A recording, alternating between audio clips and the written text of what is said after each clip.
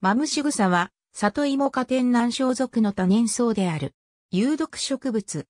北海道から九州にかけて分布する。産地や原野の湿った林床に生える。形状に変異が多い多年草で、成長すると高さは50から60センチメートルに達する。葉は2個あり、楕円形の小葉が7個から15個つく。球形は平たい円形で地下にある。偽形は傭兵下部の二つの幼少部分が重なってできたもので、紫褐色のまだらな模様がある。名称は、この模様がマムシに似ていると考えられたことにちなむ。秋田県では、蛇のバッコとも呼ばれている。私有一種である。晩春に家系を直立させて開花する。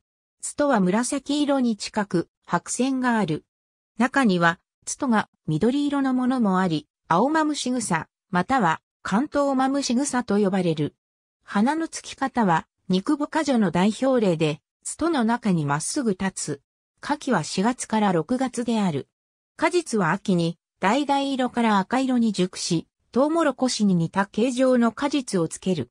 前奏に、シ酸カルシウムの針状結晶、サポニン、コニンが含まれる。特に球根の毒性が強く、その汁に触れると炎症を起こす。誤って食すと口中から喉までに激痛が走り、唾を飲み下すことすらできないほどとなる。